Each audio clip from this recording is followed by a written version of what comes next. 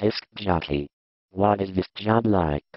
Disc jockeys, sometimes called DJs, play music on the radio. They also talk about the news, sports, and weather.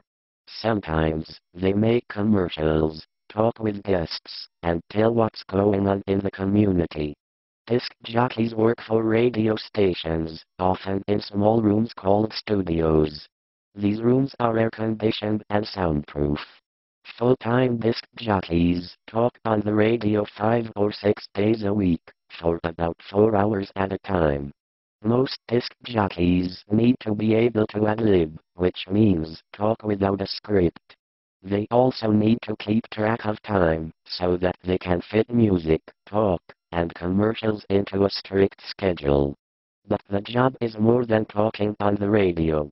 Every day, disc jockeys must prepare for the radio show.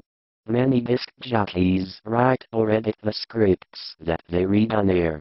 Sometimes they write commercials too. Some disc jockeys find people to interview. And some make public appearances at schools and parties. Disc jockeys at small radio stations often work